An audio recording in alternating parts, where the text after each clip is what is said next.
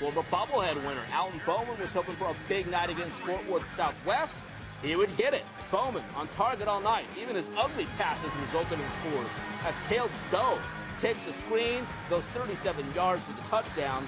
While Randy Jackson's defense was pitching the shutout, Bowman was lighting up the scoreboard. Beautiful pass to Zach Carnes for the 25-yard score. Bowman, 366-yard passing. Grapevine wins 70 to nothing.